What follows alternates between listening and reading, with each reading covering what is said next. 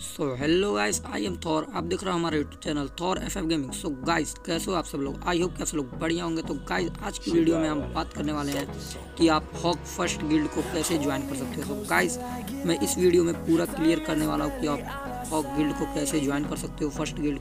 And second पे मैंने video बना रखी है तो जो सेकेंड में जाना चाहता है वो जाके वीडियो देख सकता है। तो गाइज़ आप फ़र्स्ट गिल्ड को कैसे ज्वाइन कर सकते हो, हॉक फ़र्स्ट को तो गाइज़ इस पर मैंने वीडियो आज बना रखा है। तो गाइज़ आपको क्या रूल है, क्या क्राइटेरिया है मतलब कितना के कितना रैंक क्या होगा मतलब आ सकते हो आप। समझ रहे हो? तो गाइज़ मैं सब बताने वाला हूँ इस वीडियो के अंदर। तो भाई लोग, आप देख सकते हो वाइट ऑफ़ गिल्ड जो कि मैंने ओपन कर दिया एंड लेवल फोर मैक्स है।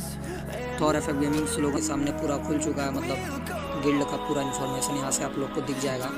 एंड लेवल मतलब लेवल इसमें फिफ्टी अप्रॉक्स है तो मैंने फिफ्टी नहीं मतलब आपका सिक्सटी टू से लेवल अपर होना चाहिए इस गिल्ड में आने के लिए। सिक्सटी टू से एंड के की बात कर लेते हैं तो टू पॉइंट फाइव की के होनी चाहिए।